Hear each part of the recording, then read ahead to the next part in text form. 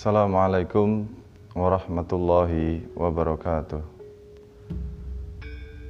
Ramadan adalah bulan yang dinantikan umat muslim di seluruh dunia untuk melaksanakan sebuah ibadah di mana bulan ini adalah bulan yang penuh dengan barokah, bulan yang penuh dengan maghfirah. Rasulullah Shallallahu Alaihi Wasallam bersabda dalam sebuah hadis Bukhari Muslim, "Man qama Ramadanan imanan wahtisaban, ghufira lahu ma taqaddama min dambihi." Barang siapa mendirikan Ramadan dengan iman dan ikhlas karena mencari ridho Allah Subhanahu wa taala, maka akan diampuni semua dosa-dosanya oleh Allah Subhanahu wa taala. Dalam hal ini dalam kitab Mughnil Muhtaj karyanipun Imam Khatib Syarbini menjelaskan tentang hadis man qoma ramadanan imanan wahtisaban.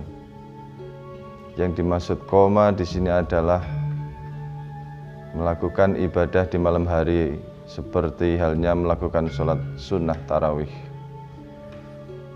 Di antara beberapa fadilah sholat sunnah tarawih Rasulullah Shallallahu Alaihi Wasallam ini pernah di dalam sebuah hadis walaupun banyak orang mempertanyakan tentang hadis tentang fadilah keutamaan sholat sunnah tarawih di bulan suci Ramadan ini. Yang pertama fadilah tentang keutamaan sholat sunnah tarawih pada malam pertama ada sebuah hadis an Ali bi Abi Thalib radhiyallahu taala anhu annahu qala Su'ilan Nabi sallallahu alaihi wasallam an fadhaili tarawihi fi syahri Ramadan faqal Yakhruju al-mu'minu min dhanbihi fi awwalihi fi awwali lailatin kayaumin waladas ummuhu. Rasulullah Shallallahu Alaihi Wasallam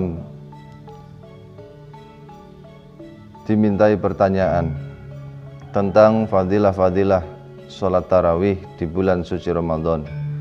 Beliau mengatakan fadilah keutamaan sholat sunnah tarawih pada malam hari yang pertama yakhruju al-mu'minu min dambihi fi awali lailatin kayaumin waladas ummuhu